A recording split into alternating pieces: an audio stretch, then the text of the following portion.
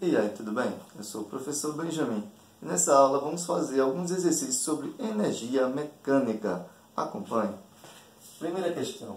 Uma pedra com massa m igual a 0,4 kg é lançada para cima com energia cinética EC igual a 400 joules. Calcule a altura máxima atingida pela pedra. Para responder essa questão, nós vamos usar o teorema da conservação da energia mecânica.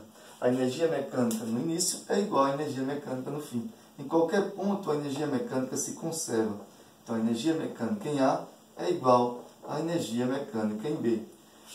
Então, quando ele foi lançado, a energia mecânica estava na forma de energia cinética e vale 400 joules. Isso vai ser igual à energia mecânica no fim, quando ele atingiu a altura máxima, ou seja, quando a velocidade é zero.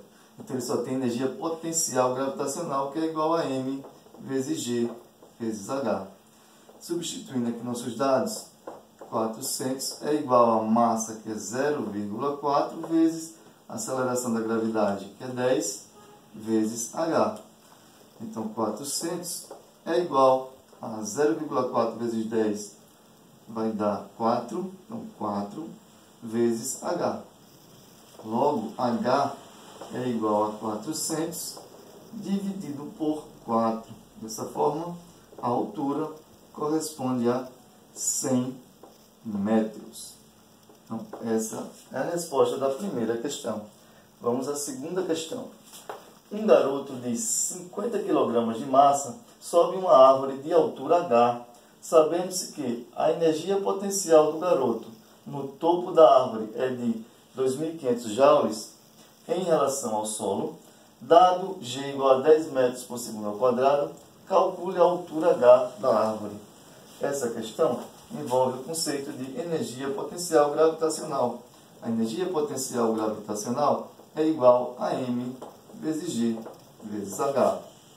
Essa energia potencial gravitacional foi de 2.500 joules. Isso é igual a massa, 50 kg, vezes a aceleração da gravidade, 10 metros por segundo ao quadrado, vezes o H. Então, a altura H é o que nós queremos saber.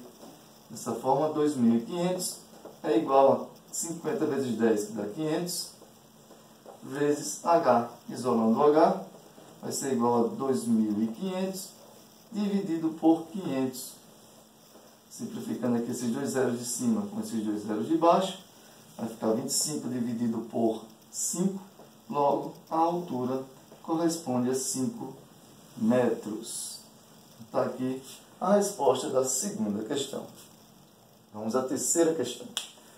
Uma mola de constante elástica K igual a 800 Newton por metro tem energia potencial elástica de 1.600 joules calcule a deformação sofrida pela mola. Então, essa questão aqui envolve o conceito de energia potencial elástica. A energia potencial elástica ela é igual a K vezes x ao quadrado dividido por 2. Essa energia potencial elástica foi dada, vale 1.600 joules.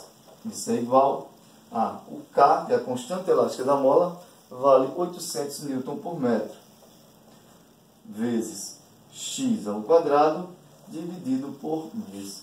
Podemos aqui dividir esse 800 por 2, então vai ficar 1.600 igual a 400 x ao quadrado.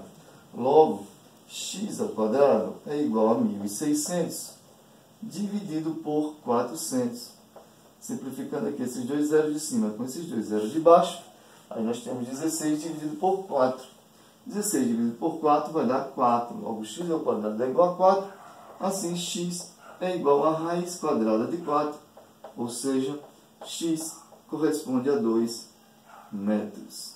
Chegamos aí ao fim dos nossos exercícios. Se você gostou, dá um joinha, compartilha e se inscreva aí no canal. Até a próxima!